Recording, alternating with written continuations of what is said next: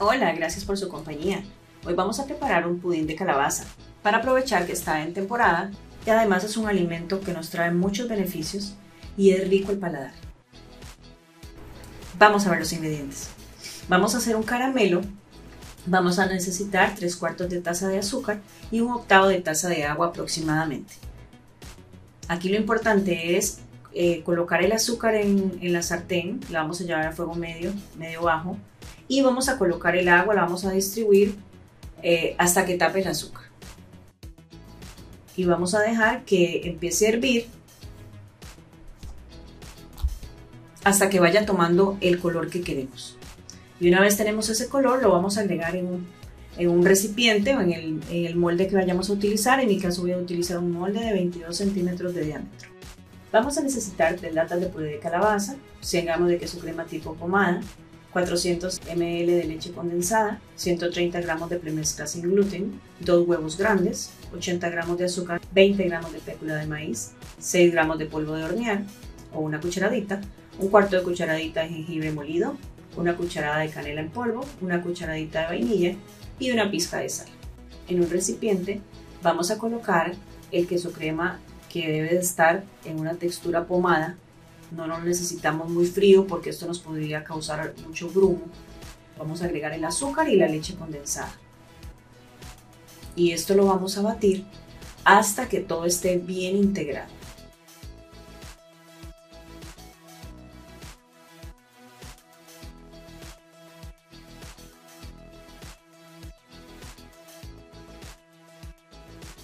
Ahora agregamos los huevos que los batí previamente para ayudar a apurar un poquito la mezcla.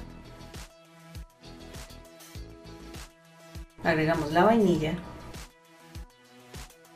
y mezclamos un poquito solo hasta incorporar y vamos a tamizar ahora los ingredientes secos. Aprovecho para invitarlos si aún no se suscriben para que se suscriban, le den a la campanita y me apoyen con un like si les gusta la receta y si les viene gustando el contenido y compartan con familiares y amigos.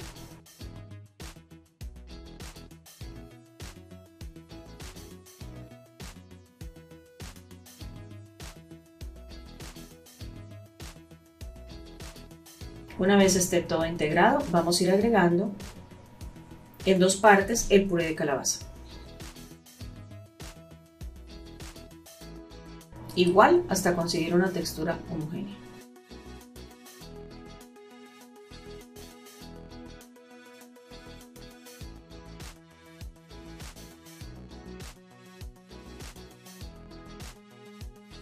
Cuando ya tenemos todo integrado, vamos a colocar en un molde de 22 centímetros de diámetro y vamos a llevar a horno precalentado a 180 grados centígrados por aproximadamente hora y 15 minutos.